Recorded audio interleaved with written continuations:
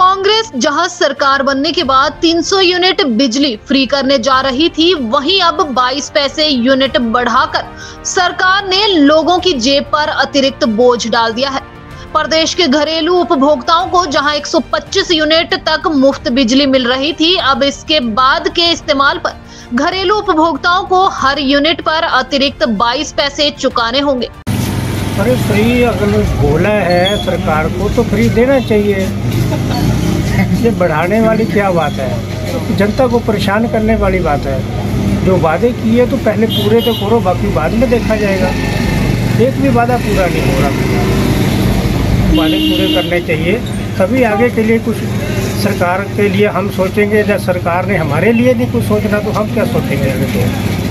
वहीं लोगों का कहना है कि जहाँ पहले ही महँगाई की मार से आम जनमानस मुश्किल में है, वहीं अब बिजली की दरें बढ़ने से गरीब लोगों पर इसका सीधा असर देखने को मिलेगा।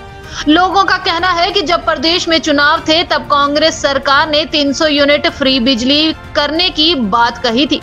पर अब बिजली फ्री करने की बजाय 22 पैसे यूनिट बढ़ने से अब लोग अपने आप को ठगा महसूस कर रहे हैं।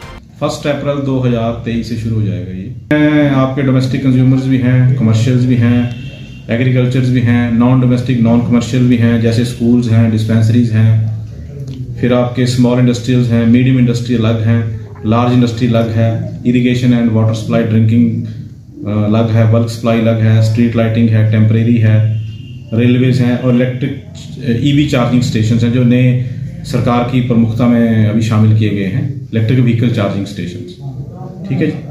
उज्जवल हिमाचल के लिए नालागढ़ से सुरेंद्र सिंह सोनी की रिपोर्ट।